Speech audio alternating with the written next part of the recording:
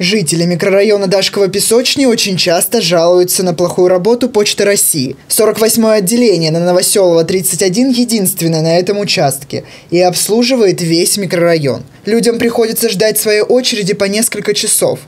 Ропот усиливается. Сколько стоите, ждете посылку по времени? Уже полчаса. Обычно часто посещаете данное? Нет, редко. Ну, Не а- хочется посещать это, А почему? потому что все время очередь. Я не знаю, у нас такая вот почта, как бы, как сказать-то, я живу в этом районе. Мне 56 лет.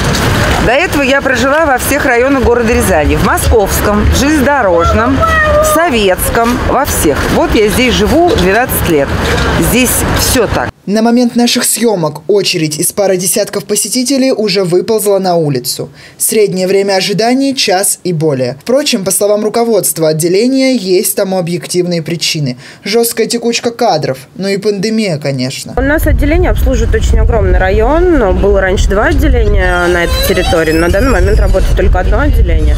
Поэтому очередь, да, и ввиду пандемии, ввиду, что сотрудники болеют, некоторые сотрудники уволились. В этом отделении на данный момент нет начальника, нет заместителя начальника. Я являюсь э, руководителем 32 отделений, поэтому физически постоянно находиться здесь тоже нет никакой возможности. Ну, работаем так, как можем на данный момент. Стараемся клиентов отпускать вовремя. В руководстве Почты России по Рязанской области как бы знают о проблеме данного филиала, но пока вариативности никакой. К сожалению, мы были вынуждены сократить режим работы почтового отделения из-за нехватки персонала в связи с пусками, больничными и открытыми вакансиями.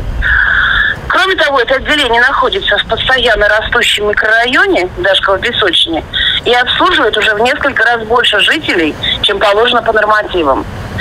А В настоящий момент, чтобы разгрузить работу отделения 39-0048, мы заключаем договор на размещение дополнительного отделения строящемся жилом доме по улице Васильевской. С появлением дополнительного отделения нагрузка на работников 48-го филиала должна стать меньше. Почте России на это, по крайней мере, сильно рассчитывают. Герман Гущин, Михаил Лазуткин, телекомпания «Город».